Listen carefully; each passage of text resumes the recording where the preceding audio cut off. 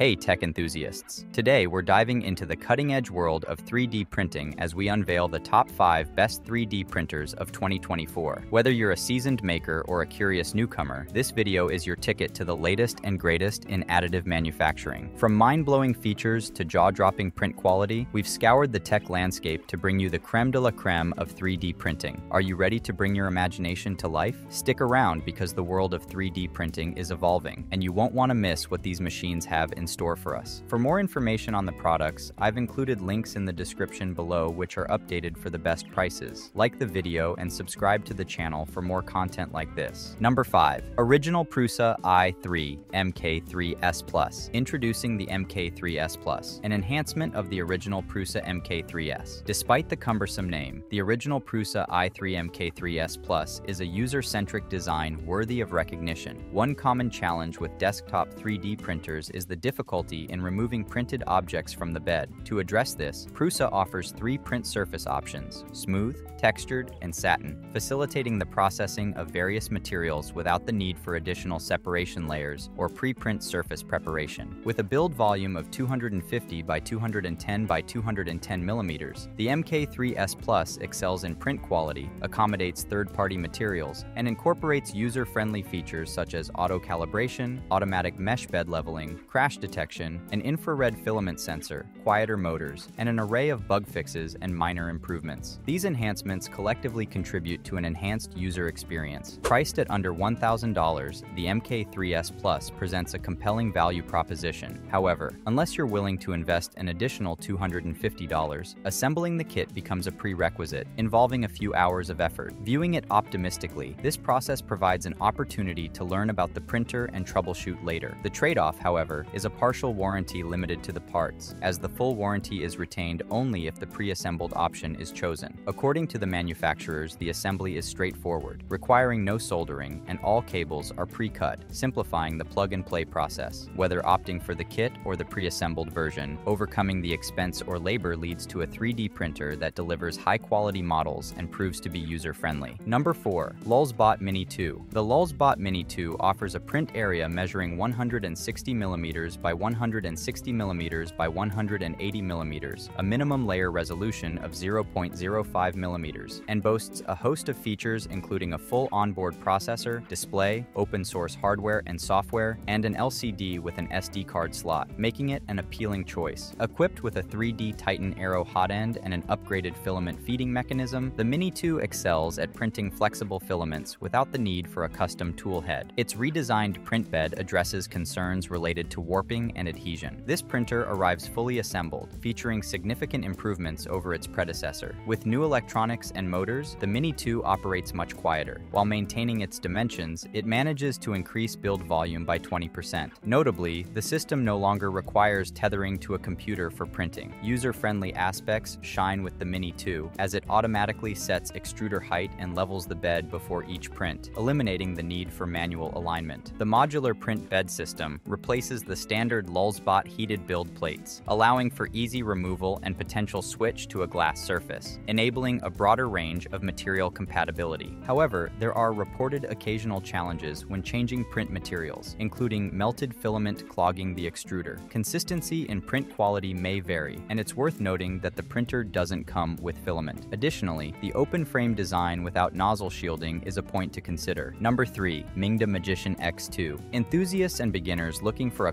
cost-effective yet feature-rich 3D printer don't have to break the bank. There are many affordable options available, such as the Elegoo Mars 2 Pro, but the Mingda Magician X2 stands out as an inexpensive 3D printer that strikes a balance between performance and affordability. This printer offers several noteworthy features, especially beneficial for those new to 3D printing. Features like the 16-point auto leveling, quick swap extruder, filament detection, and removable PEI build platform make it user-friendly for beginners. The touchscreen LCD effectively displays essential information, such as the hotbed temperature indicator, and facilitates adjustments like straightforward baby step Z-axis tuning, enhancing the overall printing experience. In terms of performance, the printer produces excellent, high-quality prints during testing. However, the print times were perceived as relatively slow. Despite being capable of reaching up to 100 millimeters per second, the recommended print speed is 60 millimeters per second. In comparison, the speedy Bambu Lab P1P can achieve achieve print speeds of up to 500 millimeters per second. Given its affordability, some compromises are inevitable, such as limited nozzle options and the need for fine-tuning to achieve optimal print quality. Nevertheless, considering the price, the Mingda Magician X2 offers an impressive deal for users. Number 2. Creality K1 Max. The K1 Max excels in various aspects, including speed, build volume, and a well-designed enclosure for handling exotic filaments. It currently holds the title of the fastest 3D printer we've ever tested, boasting an impressive top speed of 600 millimeters per second and an acceleration rate of 20,000 millimeters per second. An astonishing feat was achieved when we printed a standard SpeedBenchy in just 13 minutes and 50 seconds. Beyond its speed, the K1 Max is a top-tier Creality model featuring LiDAR technology and an AI camera that alerts you in the event of a print failure. Additionally, its spacious 300 by 300 millimeters build plate provides ample room for larger projects, whether it's crafting cosplay helmets